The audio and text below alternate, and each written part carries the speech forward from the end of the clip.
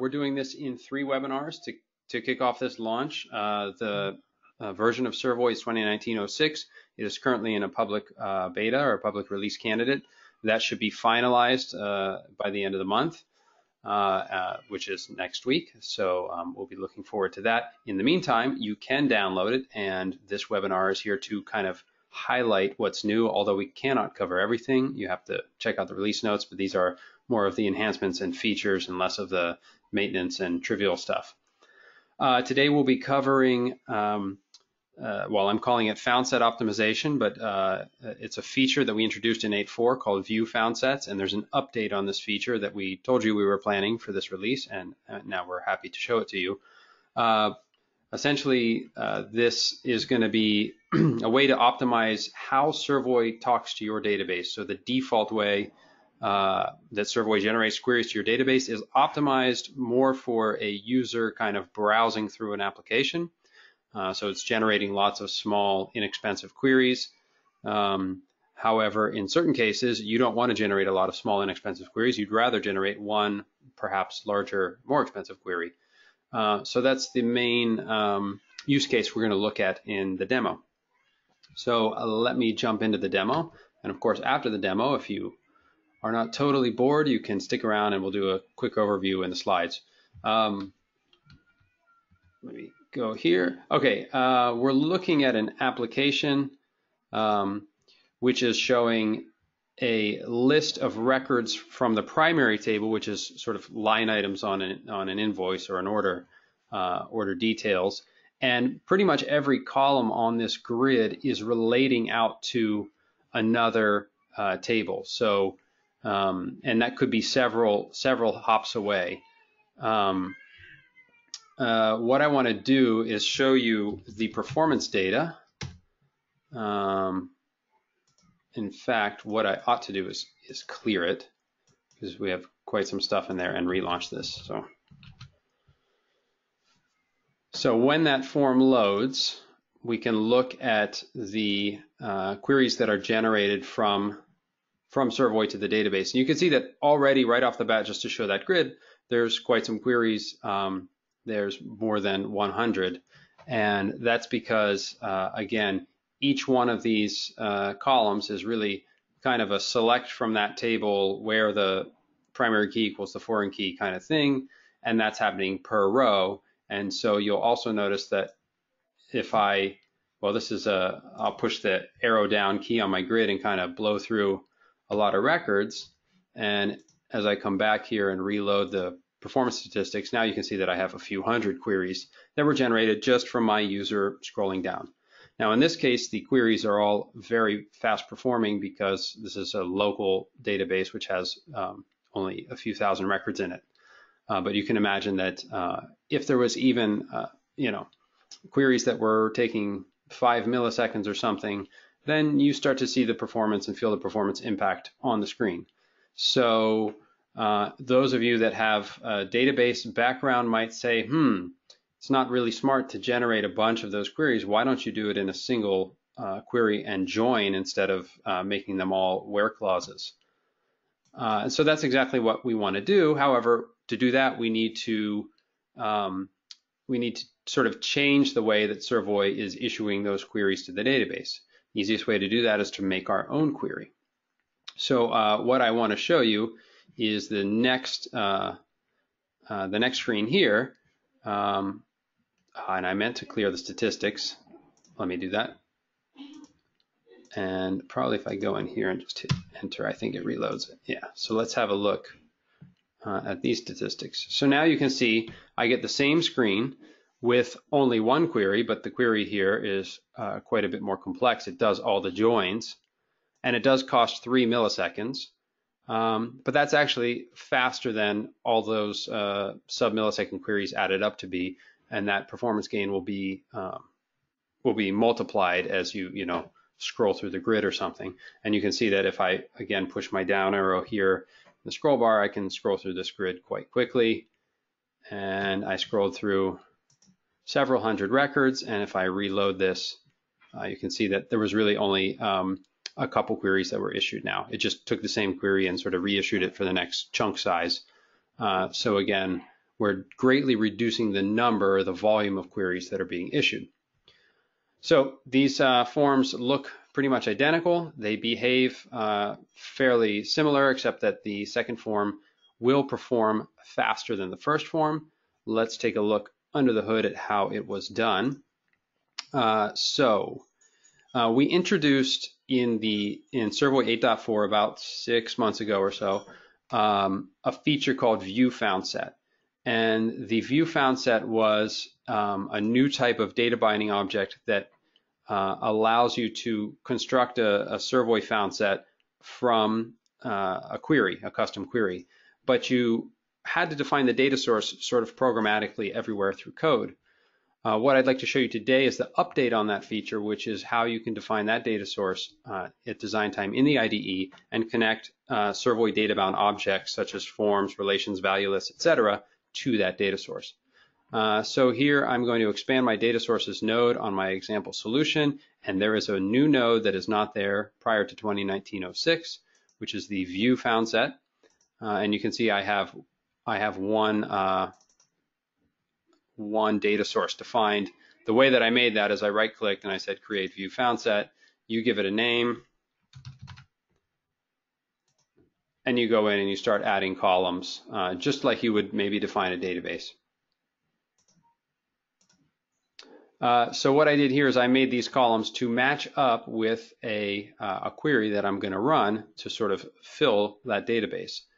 Uh, you'll notice that the um, a lot of the tabs that you would see down at the bottom here that would be on a regular sort of physical database uh, are gone, but we do have the events tab and there's one event that is supported and that's the onload event for uh, a found set, which is basically the first time that found set is, is loaded, it's gonna trigger this event and you can bind it to your own handler. And in this case, I pass that off to a method I've defined here called load order details.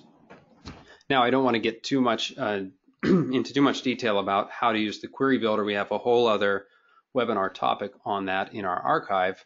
Uh, so if you're new to Servoy, you want to check that out.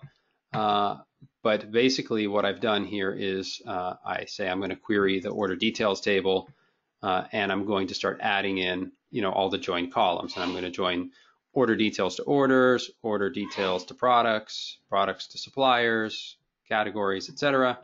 Uh, each one of those was generating a separate query per row. Now it's going to just all go into a single query.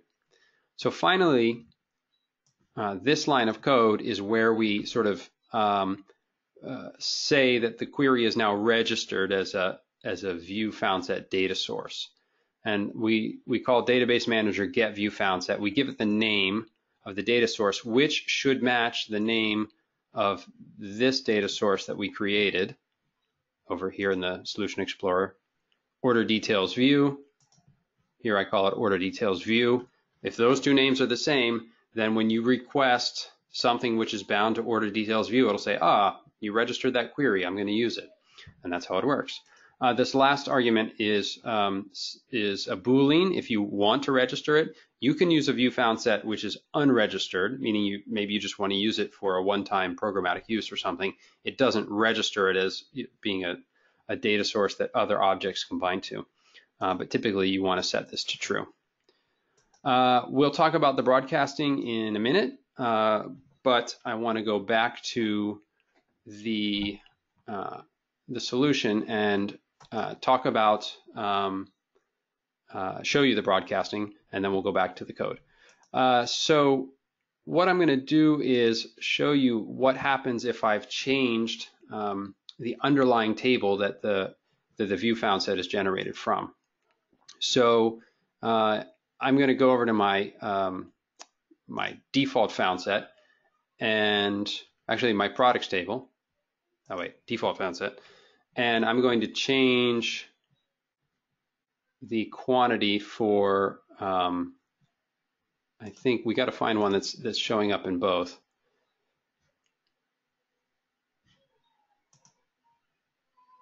I think we have this one is in both, right?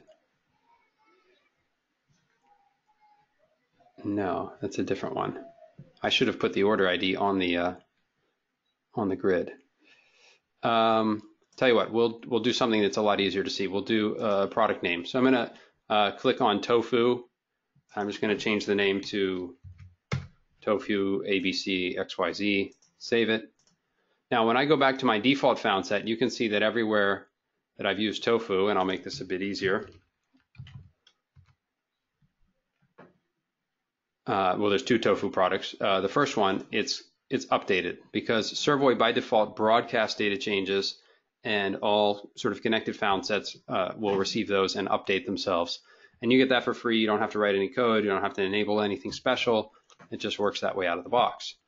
What happens when I go over to uh, my view found set, which was generated from a custom query, and I'm looking for my tofu one. Should probably have lined one up. Well, let's let's do one that I can already see. Uh, so I'll go and do chai and do the same thing.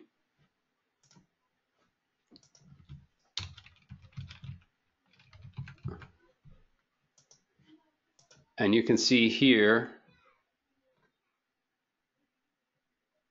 I thought I had chai up here. No, there it is. Um, that it was updated. Uh, the reason it was updated is because I have enabled the data broadcast. I'm going to sort of um, comment these out. In fact, that's for the, the primary table. Uh, this is the products table. I'm going to comment that out and I'm going to sort of re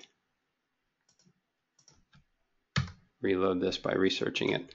Um, so now if I were to come, let me get one from the top here. Uh, let's do this one. If I come into the products table and change this one,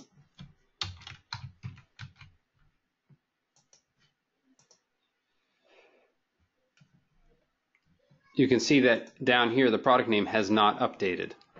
So you have to enable broadcasting for whatever components of your query in order to get that broadcasting. And the reason we do that is that you could imagine that for this query, uh, there's lots of source tables that could go into the query. And uh, we don't want to assume that you want to receive broadcasting all of that because there starts to become a sort of a performance uh, consideration.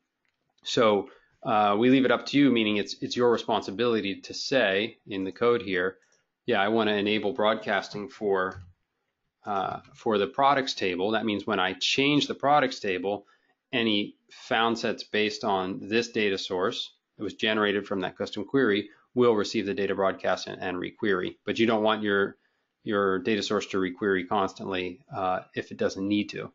So that's up to you uh, to change that. Uh, finally, uh, I want to talk a bit about the limitations of the view found set. Um, it is uh, sort of a, a, view into the results of that query, and it can dynamically page in records and stuff, but uh, by default, you can't do simple things uh, that you would get in a regular found set, such as uh, searching and loading records based on another query and that sort of thing. So uh, you might have noticed that I was able to quickly type in tofu here or um, uh, Tokyo. Oh, I thought that was one of them. I'll just put in another product. You can you can see I can I can easily type in uh, searching the the products table. Uh, that's the only one I've enabled, and that's using the SVY search module, which kind of gives you that for free. I could put in another customer name here. And you can see that gets this column. But if I want to do that over here, now I've enabled it, so I'm going to put in tofu. And you can see that I got long life tofu and the other tofu that I modified. But I had to do something for that, and I want to show that to you as well. So by default, you can't put a view found set into find mode, or you cannot uh, load records based on a query. But I'm going to open this form. By the way, I forgot to show you something which is kind of important on this form. Uh, you will notice that when I made when I made this form, I have to choose a data source, and it just shows up right here under view found sets. That's kind of a one of the missing links here. This was not available in, in Servoy 8.4. You had to do it programmatically with the solution model.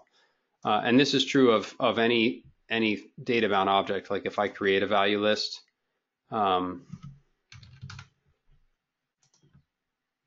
and I want to say this comes from tables, you can see view found set shows up here. Same for relations, etc. Anything that's data bound is now able to talk to that view found set. Uh, but I digress. Uh, on the action event of this text box, which is bound to a form variable which captures the input, I had to do something to um, to sort of re-query or filter the results of that. And what you can do is you can you can ask for the query object of a view found set, and then you can modify. It's like a clone. It's not the original, but you can modify it. And here I I just kind of tucked in the um, where the product name case insensitive is like the search text the user entered, uh, or the customer, and those are both joins. The customer name is case insensitive like the, the search text. Um, I, I, was printing out the SQL here to uh, to debug it, uh, and then I re-registered that data source. um, you also have to tell the form to to load records again, um, which is down here. Uh, if they cleared it, what I did is I called that original method, which loaded it, uh, you know, reloaded it without any conditions, basically. Uh, but again, it's this get view found set and then re-registering it, which is what I did. But what I did is I took the existing query and I, I modified it and then I, I re-registered it. I didn't have to start again from scratch. Uh, so that's kind of the same is true if you wanted to, to resort it. I mean, you can sort kind of the in-memory way where it sorts what's already cached, but if you want the sort to go to the database, you probably want to go in and get the query and change the, the sort columns uh, programmatically on the query and then re-register it. So that's kind of a, I think that's, uh, especially for existing Servoy users that are used to all the stuff you get kind of for free on found sets out of the box, this one, although you get more control, you have the responsibility to to kind of change things yourself. So it's important to know that. Uh, I think I covered all the things I wanted to demo. Um, just to give you a quick overview, we'll go back to some slides. Excuse me. So the, the main use case here is um, optimizing performance. Um, and the, the use case I gave you is uh, replacing something which generates lots of small queries into something that generates fewer um, uh, but more complex queries uh, and getting the same sort of user experience as a result, but better performance. Uh, the other example would be if you wanted to um, maybe make a, a, screen which was showing a bunch of aggregates, uh, and in order to do that, uh, you may want to write that query yourself. Uh, well, now you can. You can write that query yourself, and it's a lot easier to to sort of make that a data bound object than it is uh, than it was prior. So that's another use case. Uh, the way that it that it really works is um, you create the query, um, uh, you do the things to the query that you want. Uh, you set what the what's in the result, and what's in the result must match what's in the the predefined data source that you did at design time. Uh, and then you you call get view found set with the the argument here to register, uh, and that's that that binds it in so that everything can or registers so everything can bind to it. Again, that matches up with the the one you created at design time when you did new view found set data source. Um, excuse me. Um, that's a bit of a duplicate here. Uh, excuse me. Uh, finally, uh, you want to do things to enable data broadcasting because by default, you normally get data broadcasting for free and Servoy tracks for you what needs to receive a broadcast and what doesn't. Uh, but in in this case, um, you kind of have to tell it. Again, you have the control to to make this any way you want. Therefore, you you also get the responsibility to make sure it's it's updated via data broadcast if that's something that you want. Um, something that I didn't show in my demo but I put here uh, as a, an example on the, sort of the last one, enable broadcast with flags, is that you can you can also um, extend the monitoring that you want to go even deeper to do things like uh, monitor aggregates. Uh, so the example that I was talking about, unfortunately, I don't have something to show you, would be if you created uh, sort of an aggregate view, say you wanted to see that my total sales by products or something. Uh, and then while you're looking at that view, uh, a customer service rep went and um, submitted a new order with you know more products being ordered, which would affect your total sales aggregates. You can actually receive that data broadcast by monitoring that that data source uh, deep enough to get the aggregates, and then you would actually your aggregates would update uh, because somewhere on that table uh, you know that it's going to affect the aggregates. Like if they you know they would go up because you added a new order. So uh, it's nice because you can actually construct these pretty complex uh, you know aggregate type screens and they are actually connected to, to the data live rather than just a snapshot that's offline.